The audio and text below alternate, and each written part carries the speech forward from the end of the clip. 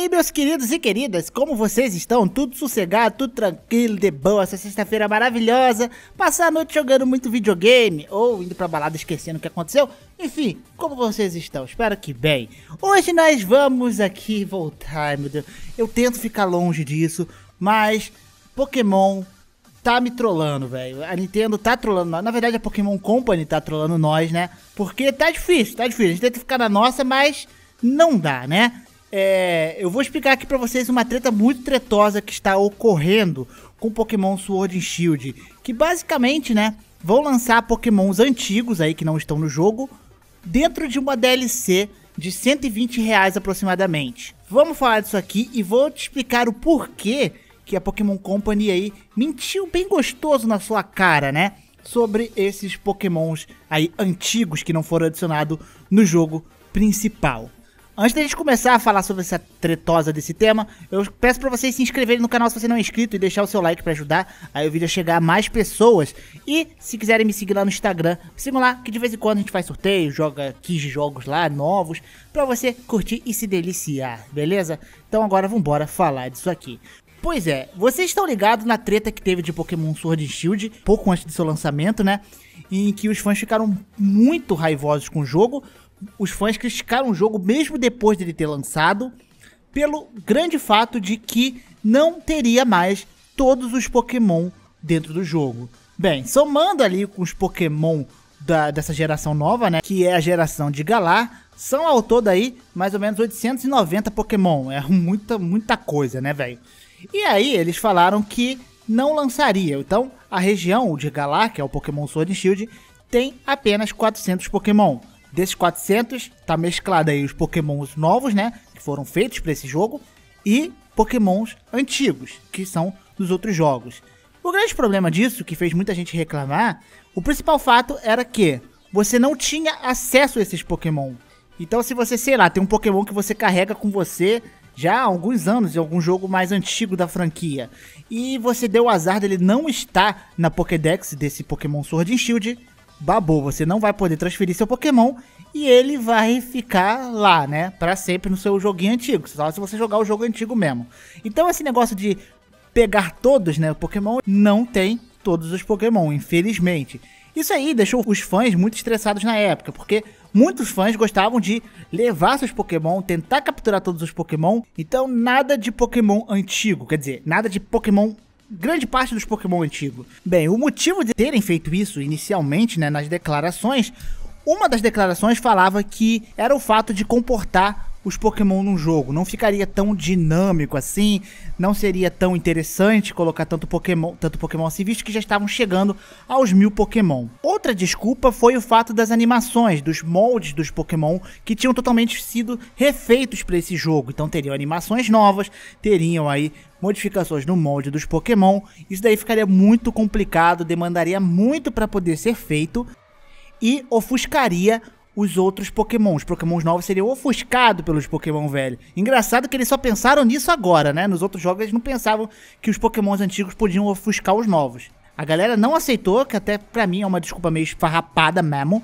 A galera não aceitou e o hate continuou. O jogo saiu, a galera odiou o jogo, só que compraram do mesmo jeito, que Pokémon vendeu muito. O, o jogo tinha problemas ali, que parecia um jogo meio que apressado, principalmente na parte estética dele o design ali das coisas, as texturas estavam feias, mal trabalhadas, as animações simplesmente não eram desculpa, porque as animações estavam muito feinhas também. Temos vídeos aí de fãs que mostram algumas animações que são horrendas do Pokémon. Então, né, foi meio que uma, uma decepção aí pros fãs, mas que eles compraram, jogaram do mesmo jeito e, querendo ou não, se divertiram. Porque o Pokémon mantém a mesma fórmula, o mesmo estilo ali. E se você se divertiu antes, dá para se divertir com o novo, por mais que ele tenha esses problemas. Enfim, né? Então o tempo passou aí, né? E teve aí, acho que foi, foi ontem, foi ontem, a Pokémon Direct. E essa Pokémon Direct é um evento voltado apenas para Pokémon. Tem a Nintendo Direct que ela anuncia coisas da Nintendo e aqui a gente teve um Pokémon Direct focado apenas em Pokémon. Entre os desses anúncios foi o Pokémon Mystery Dungeon, que era um jogo novo, e anunciaram algo inédito para Pokémon que antes nunca teve, que era uma DLC paga. Pokémon sempre tinha aquele jogo que saía depois, né? tipo Pokémon Platinum. Agora não, eles mudaram e decidiram lançar duas DLCs aí, algo que nunca aconteceu antes na franquia. Foram anunciadas duas DLCs, The Ions of Armor e The Crown of Tundra.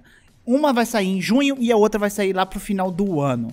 Essas duas DLCs aí, né, custa 30 dólares, arredondando aí para português brasileiro, 120 reais mais ou menos pelas duas DLCs, tá? Não é por cada DLC não. Então você paga uma vez 120 reais, você tem acesso a essas duas DLCs. Interessante, não é, não vejo como algo negativo, e eu sempre falei aqui, se um jogo vai bem e você quer depois lançar uma DLC com mais conteúdo para os seus fãs, você lança, até porque DLC demanda tempo, mão de obra, projeto, então acaba que DLC pode ser algo aí até bem-vindo, se for bem feito, não vejo problema. O problema para mim é quando é uma DLC pensada em já ser lançada assim que o jogo sai. Por exemplo, os caras vão fazer o jogo, já estão fazendo uma DLC para sair, entendeu? Esse é o principal problema. Eu acho muito errado isso. E Pokémon fez algo assim. Essa DLC nova, ela adiciona coisas até interessantes, como, por exemplo, é, áreas novas para explorar, aquelas áreas abertas que tem no Pokémon agora Sword and Shield, que você pode explorar áreas novas, treinadores novos, lutas novas, Pokémon lendário novo, terão, terão alguns Pokémons novos aí. Legal! Uma coisa me chamou a atenção, entretanto, desse anúncio é que 200 Pokémon antigos voltarão, ou seja, de 400 Pokémon mais ou menos que faltava, né, ficou fora desse jogo, 200 vão retornar nessas DLCs. O que eu achei estranho, porque não tinha problema de animação ou que não ia ficar muito bem e ofuscar os Pokémon mais novos. Não tinha esse problema. Por que, que eles resolveram lançar agora, né? Você pode argumentar comigo. Pô, ele ouviu os fãs, os fãs estavam muito bolados, eles estão ouvindo os fãs agora. Muito obrigado, Pokémon Company. Mas, pera lá, eu vou, eu vou explicar mais uma coisa para vocês que talvez alguns não saibam. O Nintendo Switch é um console que hoje é muito facilmente desbloqueável, ou seja, dá para você acessar tudo dentro dele, inclusive jogos, tanto que teve mod para Pokémon que melhorava até a textura, traduzia o jogo e etc. E uma das coisas que mods fazem é fuxicar arquivos de dentro do jogo. Então, cara, tem muito jogo aí que tem arquivos que foi cortado. O próprio Dark Souls que eu mostro aqui no canal, teve chefes aí que estão dentro dos arquivos do jogo, mas nunca foram usados para nada. Eles simplesmente decidem remover, seja às vezes por algum motivo de que não ia ficar bem no jogo ou algo do tipo. E acontece que Pokémon Sword and Shield também tinha coisa escondida dentro do jogo, dos arquivos do jogo, como o Bulbasauro e o Squirtle. Pois é, são uns dos pokémons mais famosos de todos, o Charmander, Bulbasauro e Squirtle, que são os três iniciais da primeira geração, e no Pokémon Sword Shield só tinha o Charmander, por causa da popularidade do Charizard, provavelmente. O Squirtle e o Bulbasauro não tem como você ter, nem que você tenha no outro jogo, você não tem como transferir, porque eles não estão disponíveis ali. Porém, um aí usuário, ele conseguiu acessar os arquivos do jogo e descobriu que o Squirtle e o Bulbasauro estão lá dentro, com animações, tudo bonitinho. Ele conseguiu até transpor isso para dentro do jogo e tornar jogável. O que já fica estranho, por que eles iam colocar um Pokémon já pronto ali dentro? É no mínimo curioso, né? Muita gente achou que iam lançar aí em eventos, em raids, vão dar esses Pokémons como prêmio alguma coisa, algum evento, por isso que tá lá. Mas agora que vai sair essa DLC, tudo se encaixou, cara. Tudo se encaixou mesmo, porque muito possivelmente, né, esses Pokémon já estavam sendo trabalhados para virem como conteúdo para DLC. Ou seja, nada disso de cortar Pokédex simplesmente por causa de número de Pokémon ou animação, e sim para fazer conteúdo para DLC.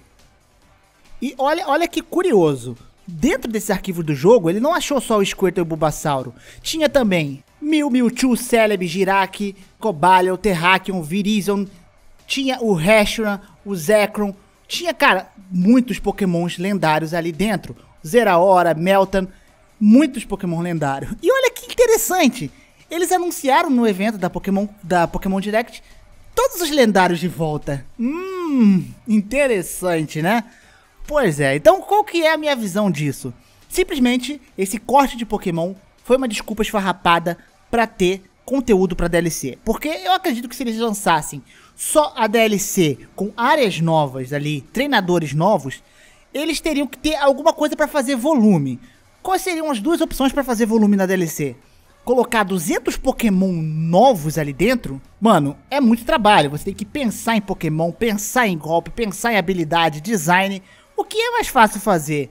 Você cortar um pedaço dos seus Pokémon antigo e reaproveitar uma DLC ou criar uma DLC com Pokémons totalmente novos? Muito mais fácil você recriar, né? Então, esses Pokémon estão de volta aí na DLC. Mas calma, não é assim também tão horrível assim. A gente sabe que isso foi uma puta de uma malandragem da Game Freak para poder, né, pegar mais um pouquinho de grana dos fãs. Porém, né, como eles saberiam que provavelmente eles teriam muito rage, é, esses Pokémon estão disponíveis para quem não comprou a DLC também.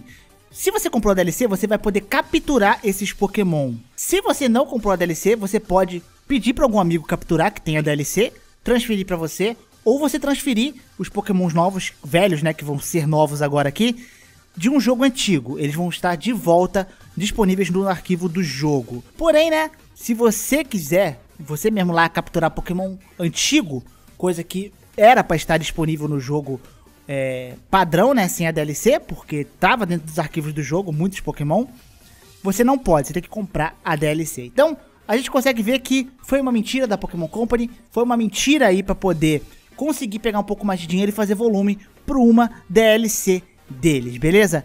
Então, deixa aqui nos comentários o que vocês acham disso aí. Errado, certo? O que, que vocês acham? Eu acho que foi zoeira. Eu acho que eles não deveriam mentir dessa forma, né? Poderiam falar, futuramente vamos colocar esses Pokémon aí, mas vai ser só disponível por transferência. Você vai ter que transferir o seu Pokémon. O que não é, não é injusto, porque tem Pokémon que não tem todos os Pokémons capturáveis. Tem Pokémon que é só disponível se você transferir de um outro jogo. Tudo bem, mas não. Foi preferível tentar inventar essa desculpa esfarrapada aí e trollar os fãs. Então, esse é o vídeo. Espero que vocês tenham gostado. É nóis, grande abraço, beijo no popô e fui.